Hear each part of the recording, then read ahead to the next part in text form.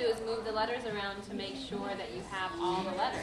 Methany Thongma has nine years of teaching experience, but only one year at El Dorado Elementary in the San Francisco Public School District.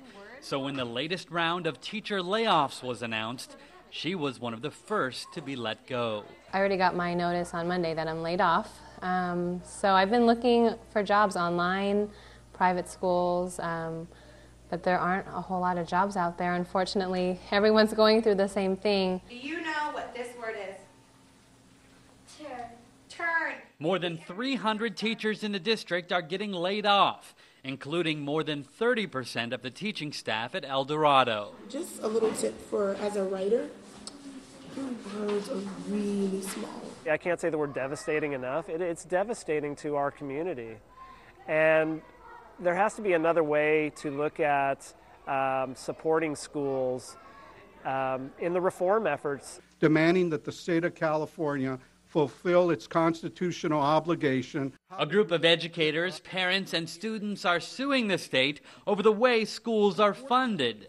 The suit claims that California, which sets high standards for education, fails to sufficiently fund schools to meet those goals. The state is not providing the support my school needs to teach me everything I need to know to succeed, to go to college, to be able to compete with kids from all over the country and the world. So you're going to have four words altogether. Even the youngest students are learning the difficult lesson of budget cuts. I had one of the kids, I think he was like a third or fourth grader.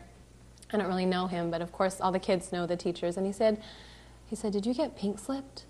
And I told him, "Yes." He's like, "Do- "Are you still pink slipped though?" So he understood that there was a first round and a second round. And I said, "I did, and I'm not going to be here next year." He's like, "But you just got here." I didn't, you know, and I just was so heartbroken when he when he said that to me, and it was so sweet of him to come up and say something. As bad as next year looks now, it could have been a lot worse. After the first round of cuts were announced, 13 of the school's 20 teachers were told they faced the axe. Some administrators will have to come back to the classroom next year to prevent class size increases. El Dorado held a talent show at the end of the school year.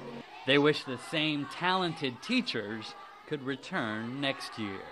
Haven Daley, The Associated Press, San Francisco.